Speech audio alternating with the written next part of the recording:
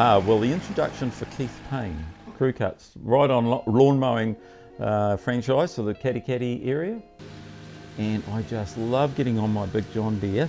It is just such a fun thing. It's sort of not like going to work, it's sort of going and having fun every day.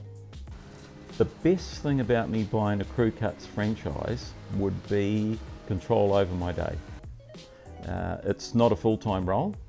Uh, the business is maybe two days a week, uh, but it doesn't happen necessarily all within two days.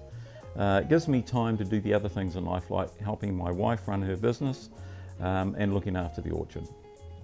Since buying the Crewcuts franchise, the things that I've learned would be, um, uh, I, I, guess from a practical perspective, um, is uh, being very organised with my diary. Uh, if you don't turn up on time, the clients will phone you and say, Keith, are you coming to mow my lawns today? and uh, so you need to be organised and, and, communicate with your customers on a regular basis. That's, that's really important. Keep them up to date and in the loop. The positives with the franchise system, I would suggest would be, uh, number one is just the, the feeling that you've got somebody behind you, the backup. There's an organisation behind you.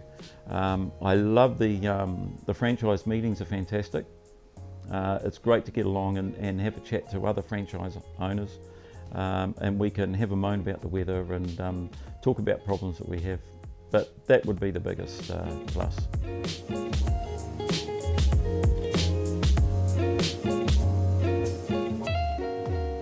I like the, um, uh, should we say, the shop front. Uh, I like the look of it, the corporate look, the fact that it's an organised, uh, professional look about it. Uh, so that helped, but yeah, it was, it was a franchise that came available and I was very happy with what I saw. The Crewcuts thing has been, um, it's a really good move from a stress level point of view. It's very good physically from a health perspective um, and I quite like it. At my age, um, I don't want to be sitting at a desk. I love being out doing things. I love being out in the fresh air and the fact that it's maybe two or three days a week, and three days would probably be ideal. Um, I see that being as a, as a perfect role to, um, in a way, in my working career.